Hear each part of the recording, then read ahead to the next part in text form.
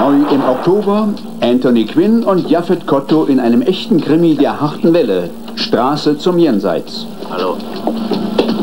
Straße zum Jenseits, ein super harter Actionfilm, der nichts auslässt. Hier fliegen die Fetzen und jeder kennt nur ein Gesetz.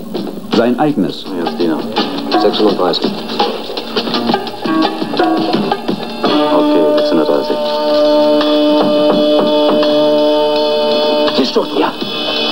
einem da drin der 68er Cadillac?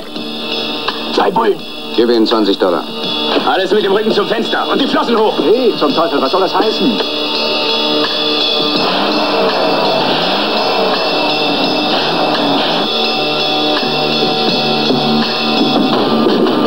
Nein, seid vernünftig!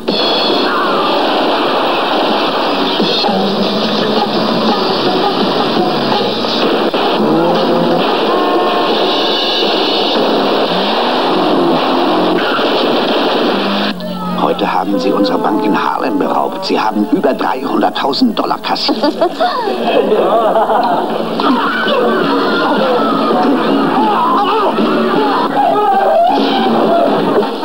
Martelli! Das ist doch schon seit der Prohibition aus der Mode. Ach, meine Methoden erzielen Resultate. Ich schwöre, ich habe nichts gesehen.